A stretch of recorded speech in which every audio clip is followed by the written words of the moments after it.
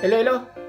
Kumusta na kayo dyan, mga ka-vlogs? Welcome to my channel, Hulilan Adventure TV. Sa mga di pa nakasubscribe, mag-subscribe na kayo at manood lang kayo sa aking mga videos. I-click nyo lang yung bell button para updated kayo sa lahat ng mga videos ko. Alright, alright, alright. Okay, okay, okay.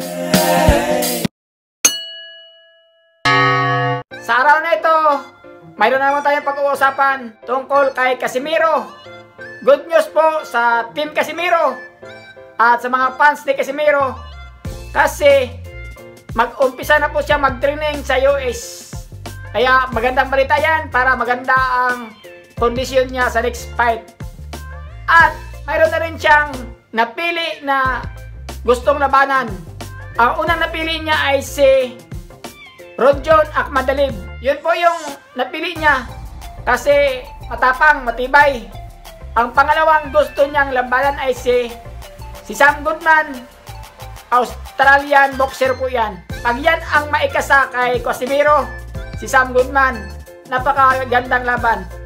Masaya po ang manood pag mga ganyang laban. Lahat quality. At mayroon ding mga naghahamon sa kanya. Katulad ni Duhini. Hinahamon din si Casimiro dyan. Pwede rin labanan yan ni Casimiro. Si Asat. Abninas yan. Naghahamon din yan. Abang-abang lang tayo. Kung sino yung makakatapat ni Cuadro Alas sa darating na next fight niya.